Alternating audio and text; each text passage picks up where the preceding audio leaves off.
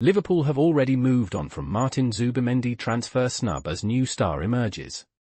Martin Zubimendi, who turned down Liverpool in the summer, is now said to regret his decision. Despite this, Liverpool have moved on, with Ryan Gravenberch impressing in the midfield role initially targeted for Zubimendi. Gravenberch's performances have reduced the urgency for Liverpool to sign Zubimendi, though they may still consider it in January.